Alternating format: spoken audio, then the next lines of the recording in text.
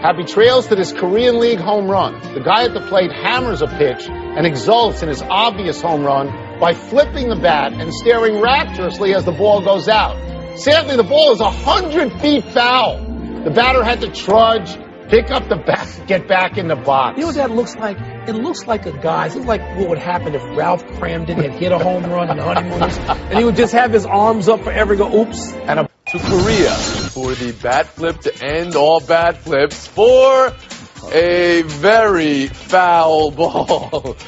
He later struck out in the at bat. Grade the entire performance, KB. You know what? I've often wondered why I am only 99.9% against beaning in baseball, and this is that other that would make up the 100%. This it wasn't even close. It wasn't even near the pole. KB, what are you it doing doesn't flipping matter. the bat like Baseball that? is supposed to be entertaining. He hit a great shot. He wanted to celebrate it so that it barely missed the foul pole. I think No, this no, is no. a There's fair no barely in oh, there, it Woody was Paige. fun. It was he was having fun. What's wrong with having fun? He had a, he had a I lot of fun when he was walking to go pick up his I'm bat, which celebrating. took about 30 seconds. And did you see the catcher and the umpire? They looked away immediately. They knew the ball was foul. Blackistone, the professor, for 30. Number one, easy there, slugger. Oh, Whoa, Kimosari.